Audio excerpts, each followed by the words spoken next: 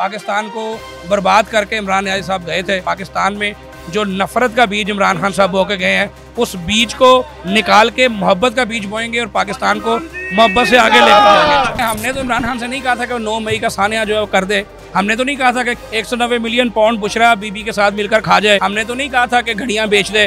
तो वो अपनी करतूतें भुगत रहे हैं, वो मुकाफात अमल भुगत रहे हैं। ये वही शख्स है जो अमरीका में जलसे के दौरान लोगों को ऐसे कहता था कि मैं एसी उतारूँगा। और अब मिनते करता है कि मुझे एसी लगा के दें, मुझे बी क्लास दें।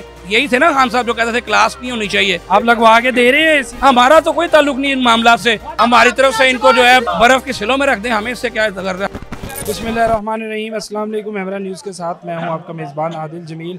नाजिन आज 14 अगस्त है और हर तरफ़ जश्न आज़ादी का समा है और आज़ादी का जश्न मनाया जा रहा है। इससे मौजूद है नसीराबाद मुस्लिम लीग नून के ऑफ़िस, जहाँ पर जनरल सेक्रेटरी मुस्लिम लीग नून ख्वाजा इमरान नज़ीर हमारे साथ मौजूद हैं। उनसे जानते हैं कि आज का दिन जो है वो किस तरह से सेलिब्रेट कर रहे हैं और आगे जो आने वाले हालात हैं वो क्या होंगे।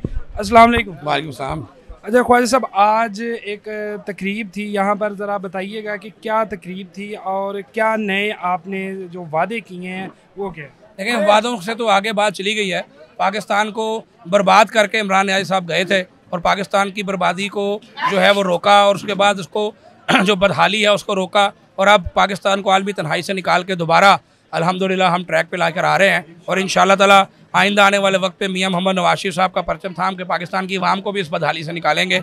और आज आप देख रहे हैं कि योम आज़ादी कितने जोशो खरोश से बनाया जा रहा है और हमारे कारकुनान का जज्बा जोश आप देखने के काबिल है। इन ताला अल्लाह ताला के फजल करम से पाकिस्तान में जो नफ़रत का बीज इमरान खान साहब बो के गए हैं, उस बीज को निकाल के मोहब्बत का बीज बोएँगे और पाकिस्तान को मोहब्बत से आगे लेकर जाएँगे अच्छा ख्वाजा साहब जो है, नए वज़ी अजम जो नगरान वज़ी अजम है, उनका भी ऐलान हो चुका है और वो आज हल्फ भी उठाएँगे।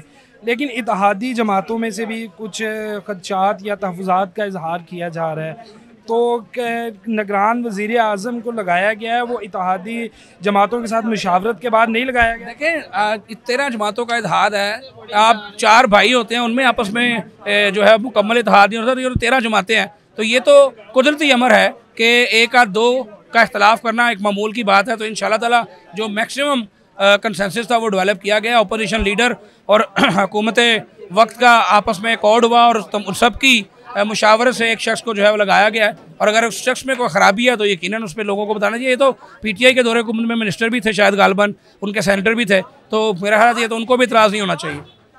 अच्छा इमरान खान साहब जो है, वो इस टाइम जेल में हैं और एक ऐलान किया गया था एक जलसे के अंदर के लेवल प्लेइंग फ़ील्ड क्या उनकी गिरफ्तारी इसी सिलसिला में कुछ आप देख रहे हैं?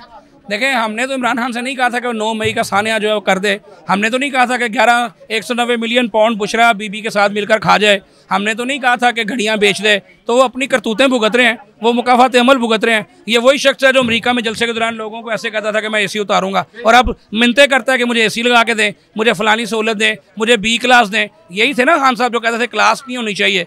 इनको आम कैदियों के साथ रखना है। आप लगवा रहो उन सुकून लवो। आपने जो बोया वो काट रहे हैं। आप लगवा के दे रहे हैं हमारा तो कोई ताल्लुक नहीं इन मामला से। हमारी तरफ़ से इनको जो है बर्फ़ के सिलों में रख दें हमें इससे क्या कर रहे हैं। मैंने तो आज तमाम कारकुनों के सामने निगरान हुकूमत से अपील की है खान साहब एसी के बगैर भी रह सकते हैं, खान साहब हर चीज़ के बगैर रह सकते हैं। खान साहब की दवाई जो है ना, वो ज़रूर उनको दी जाए, उसके बगैर नहीं रह सकते। जी, बिल्कुल, ये मुस्लिम लीग नून के जनरल सेक्रेटरी जो ख्वाजा इमरान नज़ीर थे, उनकी गुफ्तु आपने सुनी और उन्होंने नगरान सेटअप से एक अपील की है। वो अपील जो है, वो आपने सुनी और इसी तरह उनका यही कहना था कि मकाफात अमल है और खान साहब ने जो किया है वही उनको भुगतना पड़ा है। इसके साथ ही मुझे दीजिए इजाज़त, अल्लाह ने